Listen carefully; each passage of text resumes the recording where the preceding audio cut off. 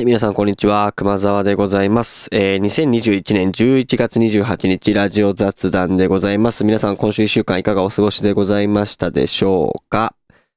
えー、熊沢はですね、まあそこそこ忙しかったでございます。前回が11月21日にこのラジオ雑談やってますけども、なんだかんだ、えー、っとね、その当日ですよ。21、うん、まあいいや。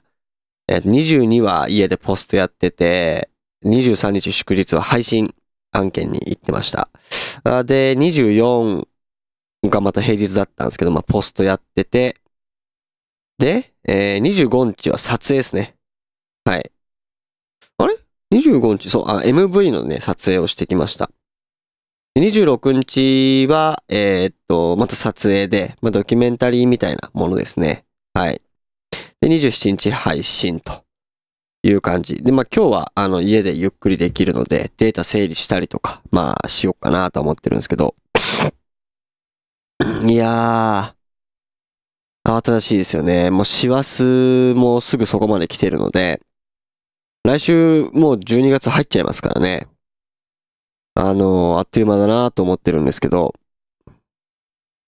いやー、撮影とかカメラを扱う仕事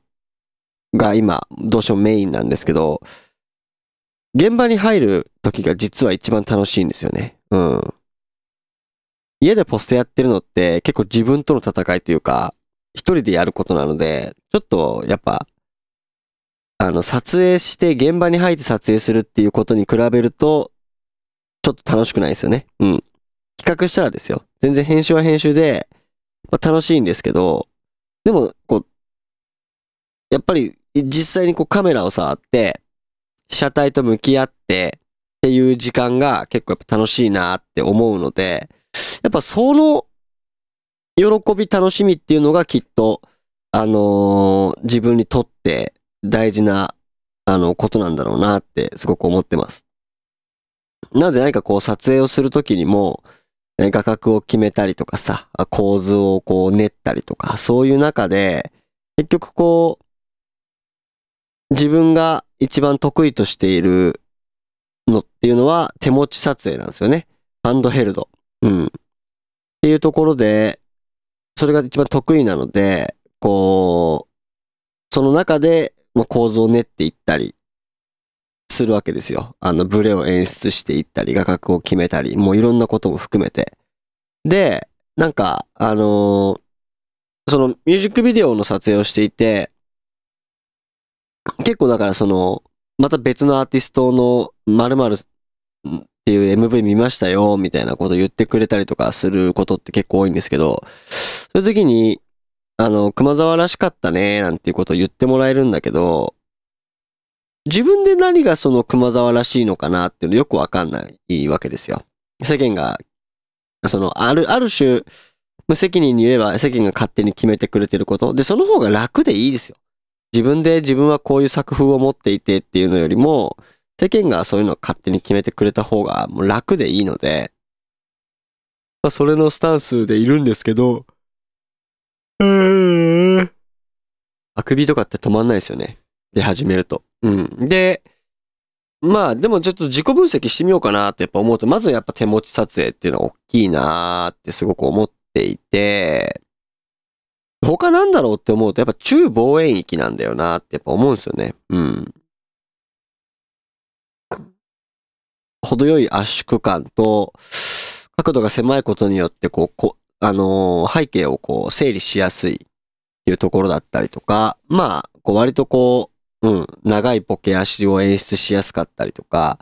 割と歪まずに撮れるっていうポイントだったりとか、っていうので、まあ、中望遠域以上の長いレンジの、あの、焦点距離、画角、狭い画角っていうのは、結構僕は好きで、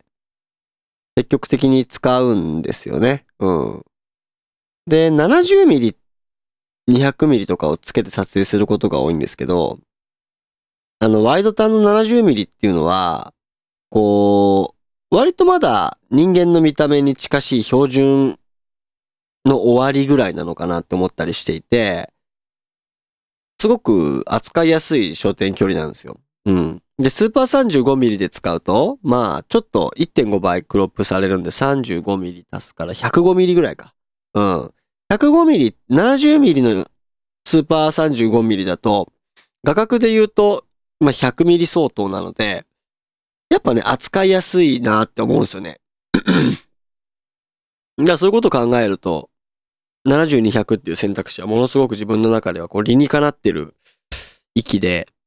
まあ、えー、っと、だいたい使って、まあ、70ミリ、85ミリ、100ミリ、135までいきゃいい方かな。うん。結構しっかり望遠することもあるんだけれども、それとはまた別に、それはね、なんか、あの、あえてその画角をしっかりその狭くしたいっていう理由がない限りは、あんまり、超望遠域っ。うん、テレタンとかはあんま使わないんだけど。背景を圧縮するというよりも、あ、首が止まんないね。角度を狭くすることによって構図が整理しやすくなるっていう側面をいかに活用するかっていうのが、えっ、と、望遠域のま魅力ではあるので、そこを意識しながら結構僕は撮ったりするんですよね。うん。で、それこそま5.6ぐらいまで絞って、しっかり被写体の、えー、前後関係ですよね。被写体自体も凹凸がありますから、手前から奥っていうのはあるわけで、まあ、例えば顔で言えば鼻の頭から耳までとか、しっかりと、えっ、と、改造感をしっかり出して、えー人間が被写体であれば人間自体はしっかり被写界の中側に、えー、内側に収めておいて、それ以外のフォーカスアウトしているところがトロッとボケていく。ね。えー、の出しやすいので、まあ、5.6基準で、どれぐらい絞るか開けるかっていうのは考えたりするっていうところもあるので、まあ、やっぱ、うん、手持ち撮影と中望遠域っていうのは僕の中では一つ、まあ、熊沢らしいみたいなのを結構感じてもらえるポイントなのかななんて思ったりしながら、まあその話をしたんですけどね。うん。なので得意な画角とか、得意なカメラワークって持つといいですよ。うん。あくまでそれがその仕事、うんとめちゃめちゃお金になるかっていうと、それはやっぱその見た人がどう感じるかっていうことなので、トレンドに合わせたカメラワークだったり、まあレンズの画角であったりとかっていうのは、トレンドは抑えておく必要はあると思うんですけど、で、ある程度、うん、高い水準で実現可能なものにしていく技術にしていく必要はあると思うんだけど、でもなんか自分が撮ってて、なんか、ピカイチ、誰が撮ったかわかるぐらいの、そういう、うものは代名詞というか、っていうのは持っててもいいのかななんて思いながら、撮影なんかしてましたね。うん。なので、あの、大した雑談ではないんですけど、あの、カメラのポジションしかり、えー、構造を練るみたいなことだったりとか、えー、背景だったりを整理する構造を見せたいものがより魅力的に見えるように構造を整理するっていうとこだったりとかっていうのは、やっぱカメラ扱ってると切っても切れないので、うん。そこは磨いてってもいいんじゃないかななんて思いながら今日はね、あの、ラジオ雑談喋ってみました。はい。まあ来週一週間も元気に生き生きと、あの、カメラと向き合って、いっぱい仕事があるんでね、あの、気をつけつつ、えー、頑張っていきたいなと。